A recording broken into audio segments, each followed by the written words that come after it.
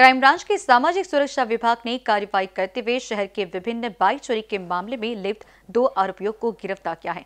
इन आरोपियों ने एमआरटीसी police station और कोतवाली पुलिस स्टेशन की हद में बाइक चोरी की घटनाओं को अंजाम दिया है। शहर के विभिन्न सार्वजनिक स्थानों से दोपहिया वाहन चोरी हो रही है। पिछले कुछ दिनों से इन घटनाओं में इजाफा भी हुआ है।